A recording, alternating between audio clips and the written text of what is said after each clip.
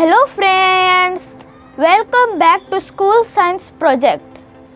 Today we will make an homemade clock. This method is used thousands of years ago when the early civilization didn't have a clock to see the time. Also you can use this method when you are in some place where you need to see the time and you don't have a clock or a watch. To make it, we need a drawing of a clock and a sundial.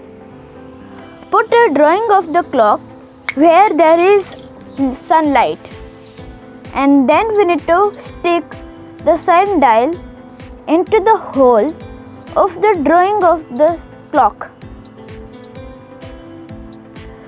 Now you can see the shadow where it's pointing to. The where it is pointing is the present time. It is pointing to 8. So it is 8 o'clock. Now we will do time eclipse so that you can see the shadow moving. In time eclipse, the 1 hour will be turned to 1 minute and you can see the time moving from 8 to 9.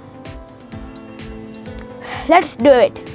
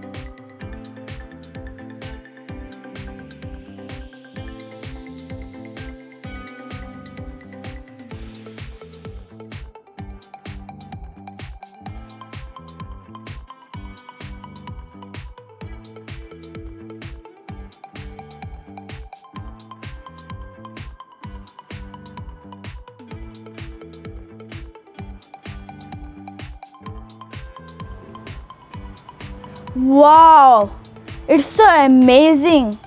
It's so interesting. It turned 9 from 8. Now, this trick is used many years ago and still you can use this. You can see this method in some temples which were which was made many years ago. Hope you liked my video. Thank you.